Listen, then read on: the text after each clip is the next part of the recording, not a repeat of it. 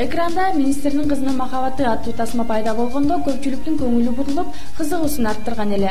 Андагы башкы каарман эки кыздын сүйүүсүнө курчалган тасмадагы жорабек жашоодо аскат эрбаев бүгүн менин каарманым болду. Алдыда биз аскат мырзанын кино жаатындагы ийгиликтери актерлуктан сырткары эмне менен алектенери балалык кездеги таттуу көз ирмемдери жана баарыбызга кызык болгон анын бойдокчулук жашоосу тууралуу маек курмакчыбыз. Алгач кепти аскат мырзанын министрдин кызынын махабаты тасмасына кантип тартылып калганы тууралуу кеп учугун баштасак буга ошол режиссердун сунушу боюнча эле тартылып калдым спорттун жардамы чоң десем болот ага чейин мен спорт менен алектенип жүргөнмүн эки миң биринчи жылдан бери эки миң экинчи жылдан бери кытайдын тайдзитюань деген ушундай бир боевой искусствосу бар. Ошол боюнча машыктыруучу болуп иштеп анан кийин бишкекке келип бишкектен залда иштеп жүрдүм машыктыруучу болуп анан режиссер өзү келип жүргөн ошол ден соолук үчүн анан сунуш кылды. Ошентип биринчи кадамым эки миң бешинчи жылы ошол фильмден башталды. Демек сиздин ушу спорт менен машыгып жүргөнүңүз үчүн эле ушул киного тартылып калгансызбы же кандайдыр бир дагы бир себептер барбы? Спорт менен машыгып жүргөндүгүм үчүн спорт чоң жардам берди десем болот. Анан өзүмдүн деле кызыгуум бар болчу актердук кесипке эмес тасмада жанагыдай мушташуу сценаларын жараткым келчү да көрсө бул актер алар деле актер экен. Мен кичинекей кезимде көрүп алып суктанчумун бирок алардын актер экенин мындай билбептирмин да. Көрсө алар деле актер экен. Спорт ушундай тасмаларды постановка бойлорду ошентип коюшуп тартышат экен да көрсө.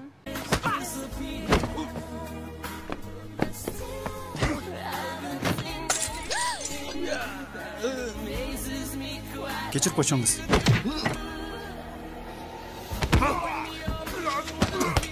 анан ошо министрдин кызынын махабаты киносуна өтсөк ал жерде ачык сценарийлер бар экенин элдердин баары жакшы билсе керек. Муну тартылуудан мурда сиз сценарийин окуп чыксаңыз керек э? Мурдуң кырдач кашы көзүң кара. Бул келбетиң бруслиникине окшош. Болгону костюмшуң галстуктан тагмасы соп сонун эле жигит болуп каласың сценарийин бул өзү китеп боюнча эле тартылган. Бекмырза рахман уулу деген кишинин министрдин кызынын махабаты деген китеби чыккан. Бул фильм тартылганга чейин эле мен бир эки жарым жыл мурун окуганмын да. Үч жыл мурун окуганмын ошондо окуп атып ошол көз алдыма кинодой болуп мындай тасмадай болуп тартылган да. Анан кино кылып тартса жакшы болгудай экен деп ошондо бир ойлонгонмун да. Ошол ойлонгон оюм үч жылдан кийин ушул иш жүзүнө ачты да аябай деле ачык цена жок ал жерде бул китепти мен мурун окуп анан бул ошол китеп жөнүндө айтып ушуну фильм кылып тартабыз дегенде ошол жери эсиме келди бирок ал жерине кармалып отурган жокмун да негизинен бул сценарийде бул китепте бул фильмде мушташа турган жерлери көп да. Мага ошол жерлер аябай жакты. Ошого кызыгып эле ошого кызыгып эле ошон эле тартылууга макулдугумду бердим да.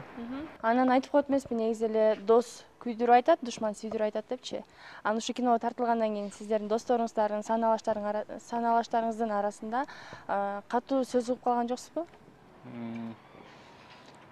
досторумдун арасында жакшы тааныштардын арасында катуу сөз уккан жокмун. Фильм тартылып башталган мезгилде. Адамдар эми чоң адамдардан. Режиссердун жанында жүргөн кишилерден эми баягы бир группа түзүлүп калат да. Ошолордун ушу менин көзүмчө эле сүйлөшкөн сөздөрү эсимде азыр.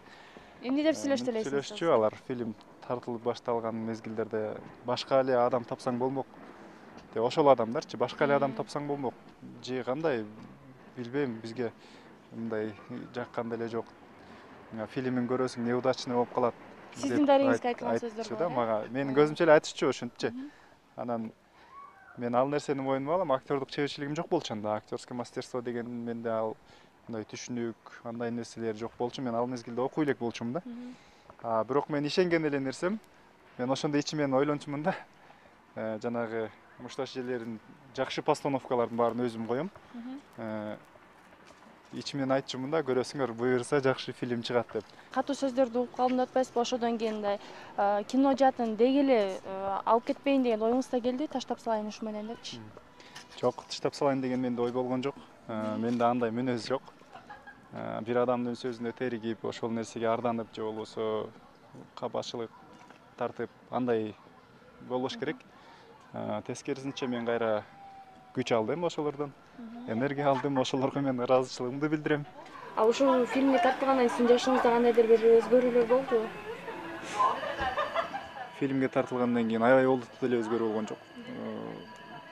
Э, эми күйөрман пайда болуп күйөрмандар эми ал бол- болуп жүргөн нерсе буга чейин эле болгон жанагы өзү боло турган нерсе го Э, кичине эл көзүнө көрүнүп эл оозуна алынып калгандан кийин аздыр көптүр күйөрмандар пайда болот. Ооба күйөрмандар пайда болду. Бирок ал жашоону аябай деле өзгөртүп жибербейт мурун кандай болсом азыр деле ошондоймун бирок э, жашоого болгон билимим өстү ага салыштырмалуу азыр бир топ жакшы жакка калыптандым десем болот. Азыркы күндө сизди э, көчөдө кетип бараткан элдер жоробек катары тааныйбы сизди же аскат катары таанышабы эми менин чыныгы атымды эч ким билишпейт да аскат дегенчи баары эле жоробек дешет. Ошо жоробек деп жүрө берип ошого деле көнүп каласың. Биринчи башында кызыктай болчумун эгер элдин баары эле буга чейин аскат деп жүргөн анан фильм чыккандан кийин эле жоробек жоробек дешет кээ бирлер жоробек деп кыйкырышат. Кызыктай болсуң бирок азыр көнүмүш эле болуп калды. Түшүнүктүү а ошол киного кинодон алыстабай эле тартылып атканда купулуңузга купулуңузга толбогон сценарийлер болду беле купулума толбогон эми ошол учурда ошол учурда ата өтө деле көп билинбейт болчу. Э, билинчү бирок азыркыдай эмес. Азыр ушул учурда мен фильмди баштан аяк эле көргүм келбейт да. Чынын айтсам А, актерлук чеберчилик жагын өзүм ал- өзүмдү алып карасам актерлук чеберчилик жок. Э, өзүмдүн ошол жоробектин ролун жоробектин ички дүйнөсүн чыныгы толук ачып бере алган эмесмин. Себеби ал кезде мен башка адам элем азыр эми билим алып окуп бир нерсени түшүнгөн сайын көз караш өзгөрөт экен эми азыр тартылган болсо эгерде анда такыр башкача жоробек болмок. Бул тайцсыз спорттук түрү менен канча жылдан бери машыгып келесиз тайдзи менен эки миң биринчи жылдан бери машыгып келатам кудай буюрса быйыл он бир жыл он экинчи жыл кетип атат да Э, мектепти бүткөндөн кийин эми айыл айылда окуганбыз айылда чоңойгонбуз ал жакта тайдзи жок. Ошол эки миң биринчи жылы деле ошто бир эле жерде бар- бар болчу тайдзи анан мен э, башка тасмалардан көрүп өзүм эле нары ички дүйнөмдө ушул кытайдын ушул кыймыл аракеттерине кызыкчумун. Анан тайдзиге жолугуп калып ошол эки миң биринчи жылдан бери тайдзи менен машыгып келатам азыр ошол тайдзи боюнча машыктыруучу болуп иштеп келатам азыр ушул учурда Э, негизинен э, эртеден түшкө чейин сабакта болом. Күндө сабакка келем жакшы окуйм анан түштөн кийин ошол залга барам. Анан азыр ушул учурда толук метраждуу фильм тартып атам өзүм биринчи менин фильмим кудай буюрса ошол элге тартууланат го жакын арада. Жакын арада. Аты кандай аталат аты азыр эфирден айтпай эле туралы э, мындай быш элек ашты элге жарыялабай эле туралы деп атам да. Кудай буюрса бир э, жетимиш сексен пайыз бүтүп калгандан кийин атын айтып элдерге жарыя кылабыз кош режиссерлукту кино тартканды мен билим алгандан кийин мурун ошол биринчи фильмге аралашкандан кийин менде кызыгуу пайда болду. Э, анан ушул акыркы эки жыл үч үч жыл ичинде сценарий жазып баштаганмын. Үч жылдан бери сценариym оңдолуп түзүлүп отуруп үч жылда быйыл бышып жетилип анан быйыл баштадым да фильмди аскат мырза ош областынын кара кулжа районунун кой жат айылынын кулуну. Окуучулук кезинде сүрөткө музыкага жакын өсүп калган мырза балалык чагы бир туугандары тууралуу маегибизди улады.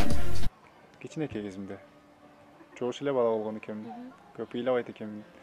Отур десе отуруп калмак отуруп калат экенмин да. Андан кийин мен эс тартып калгандан кийин баягы өзүбүздүн эсте кала баштаган күндөрү. Э, ошондо деле эсимде. Мен көп шоктонбойт элем. А мушташка жакын бала элеңизби кичинекейиңизде мушташка ооба мектепте мектепте сегизинчи класска чейин тынбай эле мушташып келдик. Мушташка мен аябай жакшы мындай жакын элем да мушташкым келчү. Анан бирөөнү жеңгенди аябай жакшы көрчүмүн Э, ошентип жүрүп биринчи классыбызда биринчи атаманыбызды сегизинчи классыма чейин өчүрүшүп жүрүп сегизинчи классымда урганмын ата энем азыр учурда айылда э, эки тең пенсияда э, канча бир туугансыз? сегиз бир тууганбыз. Беш бала үч кызбыз. Мен алтынчысымын а сиздин ушул э, кино тармагын тандап алышыңызга ким түрткү болду же кимден кандайдыр бир атаңыздын же апаңыздын чымыны бардыр ошол тарапта искусство жагына бизге э, өтө деле аябай кызыктар эч ким жок биздин үй бүлөдөчү спортко деле искусствого делечи мен эмнегедир эле кичинекей кезимден ушул спортко көп кызыктым ушунун арты менен келип келип отуруп искусствого аралашып кеттим эми атам комуз чертип кээде кээде ырдап калчу мүмкүн ошонун бир тамчыларынан мага мындай таасири болгондур деп ойлойм да. Кичинекей кезимде бир ушу беш төртүнчү бешинчи же үчүнчү үч төрт бешинчи класс ошол убакыттарда да менден менден улуу байкем аябай катуу мүнөзү катуу бала да. Анан мен мындай менин алсыз экендигим ага мындай арданат эле да менин иним эмне үчүн алсыз болуп калыш керек деп. Ошого мен аябай эме кылчу мындай. Дайыма алдыга жүр дайыма. Э, мындай башыңды жерге салбай жогору кармап жүр деп. Анан кийин мен ат мине алчу эмесмин да.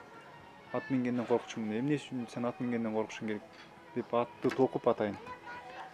Мени мингизип туруп анан кийин тиги жака чейин чаап барып алыс. Аябай катуу чаап барып кайра чаап келесиң жыгылсаң өлдүм дейт анан мен байкемден аябай коркчумун. Аябай жаман көрчүмүн ошол учурда минип алып чаап кетчүмүн келатканда чаап келчүмүн ошондо акырын чапчумун коркуп жанагы ээрдин кашын кармап алчумун да мындай тизгинде бекем кармап анан аны ал жаман көрөт эле анан өзү минип алып анан мени артына учкастырып алып анан кийин катуу чапчу аябай катуу чапчу анда мен коркконуман мынтип кармап алчумун аны кармап алсам жанагы камчы менен колго чабат эле да колуң тарт мени кармап өзүң кет деп анан мен ушинтип өзүм кетип жүрүп анан аябай ыйлап ушундай кыйналган күндөрүм көп өткөн. Жаш курагы ак боз ат минген отуз жашка чукулдап калса да актер мырзанын качан үй бүлө очогун буулатаары анын күйөрман кыздарына абдан эле кызык болсо керек. Э, азыр үйлөнгөнгө чынын айтсам мындай план деле жок. Конкретно бир чечилиш керек да бугачы э, эми сүйлөшкөн кызыңыз бардыр дегеле азыр э, сүйлөшкөн кыз деле жок. Э, бирок үйлөнүү жөнүндө план жакынкы арада эмес да. Себеби үйлөнгөн адам толук макул болуш керек. Өзү ички дүйнөсүндө кабыл алыш керек башка бир адамдычы ошол нерсени чечиш керек анан үйлөнүш керек. Себеби адам баласы бир нерсе жасап атканда бир ойлонуш керек да. Мисалы кайсыл бир жака жөнөсө деле да элементарный эле нерсе эмне үчүн баратам эмне иш кылам максат эмне ошондой болуш керек да бир. Ошондой эле үйлөнгөндүн деле бир мындай жыйынтыгы болуш керек да. Эмне үчүн жакын арада демек үйлөнөйүн деген ой жок экен жакын арада үйлөнөйүн деген ой деле жок. Башка жумуштар башка пландар азыр. Жагымдуу маектин каарманы болуп өткөн аскат эрбаев менен болгон маегибиз акырындап сапарын карыта берди. Чыгармачылыктын тузу оор наны кымбат. Өз жергесине сапат менен эмгекти айкалыштырып келе жаткан кыргыз элинин сүймөнчүлүгүнө айланган аскат мырзага келечектеги пландары иш жүзүнө ашуусуна тилектешпиз